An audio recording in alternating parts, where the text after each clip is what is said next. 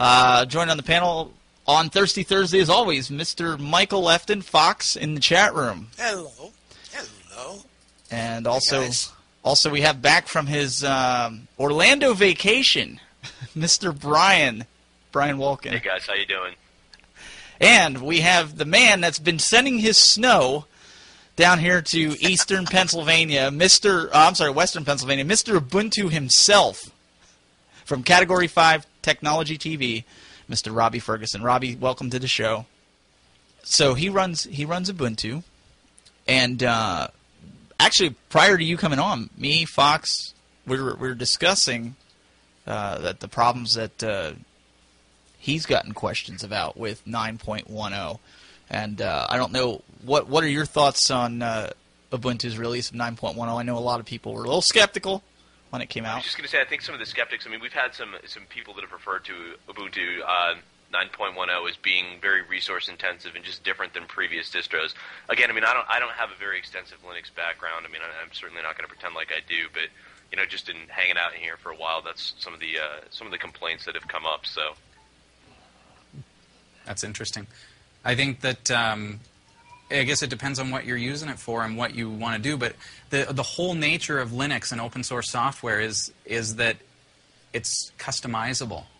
You look at the Windows operating system as an exa- as a perfect example that it's it's very difficult to out of the box customize the operating system to a level that you're comfortable with.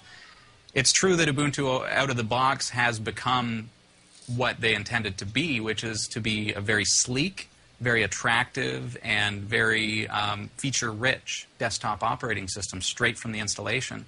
But if that's more richness, if that's more features and fancy effects than, than you want to have running on your system, then there's always the option to remove those features. And that's one of the beautiful things about a Linux driven operating system is that it's customizable. What kind of first-time problems am I going to experience with Linux? Uh, what are some of the challenges that may await me? And uh, Your start menu's at the top. Yeah, well, that was that was one that you were saying before. Uh, but what what about any incompatibilities? Uh, I know we did talk about you know uh, Fox was saying about Photoshop uh, not being on there, but there is there is other programs like GIMP that are out there that are open source that you can use. But um, what are some of the things that uh, I'm going to face as a new user that wants to play around with Linux? I think uh, basically what it comes down to is what you, again what you're going to be using the system for. Uh, if it's software, you mentioned Photoshop. So if it's software that you're that you're contending against, if that's what's holding you back, or if that's what you expect, then there there's really a, a few different options. The the first option, of course, is to find an alternative piece of software, like go to osalt.com, uh, find an open source alternative to what it is that you're using. A lot of times that's effective. For example, if you're used to using Microsoft Word, it's very easy to transition into OpenOffice Writer. Very similar applications. It's able to uh, open and save to your doc format, things like that. So those kinds of transitions, while it's a different piece of software, it's not too too difficult to get into.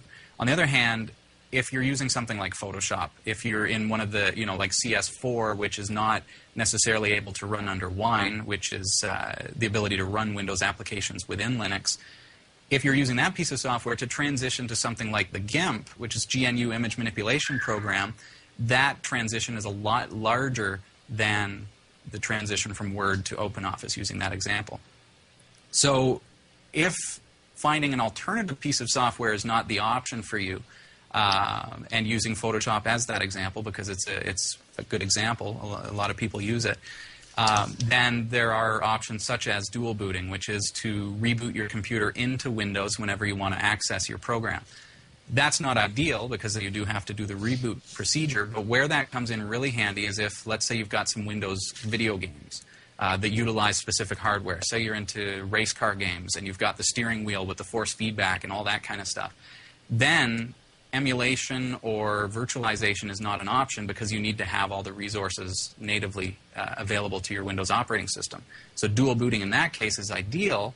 Gives you the chance to boot into Linux and have that virus-free, uh, super speedy, super sexy uh, interface and not have to deal with the viruses and things like that. But then if you need the Windows uh, applications, you can reboot and have access to that.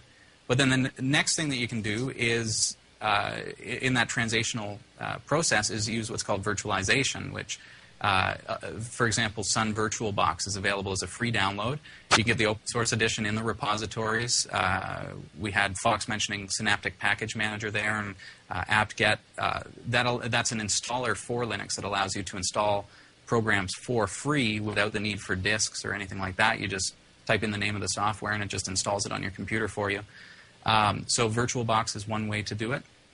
VirtualBox will let you install Windows or uh, many different operating systems into your host operating system. So if you're running Ubuntu or Linux, uh, you're able to install, say, Windows XP or Windows 7 into a virtual machine. So it actually comes up inside uh, Ubuntu Linux. So then you're able to run your Photoshop, you're able to run your QuickBooks, and any of the applications that you can't natively run on Linux are now available to you through virtualization.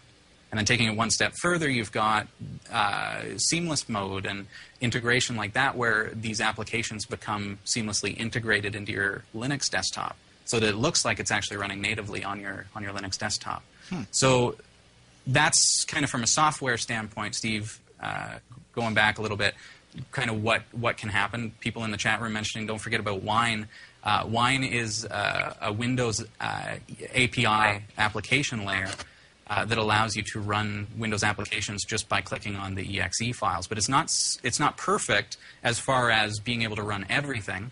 Uh, but you can get a lot of applications to run natively in Linux using Wine, uh, which is also again free software. So you can install that from the repositories and then be able to run a lot of your Linux, uh, a lot of your Windows applications directly within Linux. No rebooting, no having to boot up a virtual machine.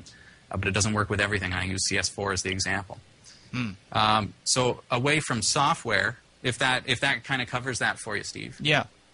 Beyond that, um, looking at hardware, what you can expect, Steve, would be just making sure that your your system is going to be compatible with with uh, you know drivers and things like that. What's interesting about Linux though is unlike uh, you're used to if you if you've used Windows XP or uh, even some uh, with Windows Vista especially and and even into Windows 7, you'll find that after you uh, install the operating system, there are certain pieces of hardware that you need to install the drivers for. You need to find the driver's disk for your printer. You need to uh, install your Wi-Fi card. You need to to do all those things before you've got a working system. With XP, it was horrendous, where you'd have to get your network drivers before you could access the internet, but you can't get on the internet to get your drivers. So we've got a catch-22 situation where, you know, well, if you don't have the CD, then you're messed. You know, Right. So, right.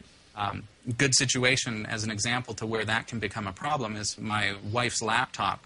Uh, my daughter, when she was about two years old, ripped the CD drive out of that computer. so she didn't have access to inserting the CD for the for her Wi-Fi uh, network card. Oh man. Uh, so when it came to reinstalling the operating system at this point, we didn't have the CD drive. We couldn't get access to um, to the network because it's not available yeah, because the drivers don't That exist. happened to me. Catch twenty two. right. Right. So, for those, if, if anyone if anyone ever encounters that, what I ended up having to do was take the hard drive out of the laptop and install the drivers uh, through a connector. So, um, but what's interesting about Linux, and we're seeing this more and more with, and, and I think Mac OS is pretty similar, but that's a little different because it's proprietary hardware. So of course they can get away with including the drivers. With Windows 7, we're starting to see things come together. Windows is finally starting to get their act together. Microsoft is. And create an operating system that's a little more intuitive than it was back in the XP days, but it's still not seamless. Uh, with Linux, you find that as you install the, uh, the, the system, uh, even booting from a live CD, it's going to detect all your hardware and it's just going to work. You don't need to go through the driver installation procedure. If you have a wireless adapter, you may encounter issues with, uh, with that uh, in Linux, and that's because a lot of Wi Fi card manufacturers don't uh, open the source of their, of their drivers.